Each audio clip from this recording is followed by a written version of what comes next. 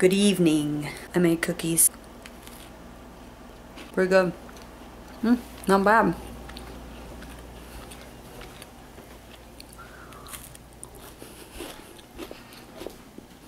I came into my bedroom for some privacy. There's a bunch of people out there. Sorry, there's crap on the screen.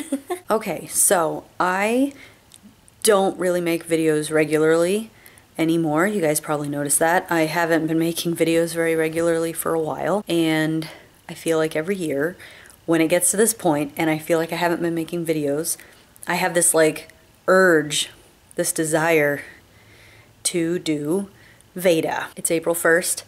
It's April Fool's Day. I hate April Fool's Day. Although this year I didn't get tricked by any false promises about Half-Life 3 like I have for the past like two or three years. Oh, switching hands. So I am gonna make a video every day. I'm gonna try to. Anyway, I'm gonna do my best. But it's possible that not every video will be posted to this channel. I actually started a booktube channel back in January and I haven't told you guys about it, but I've only posted two videos to it since January. Uh, fail. so yeah, when I post videos to that, I will let you know. Oh my goodness, my arm.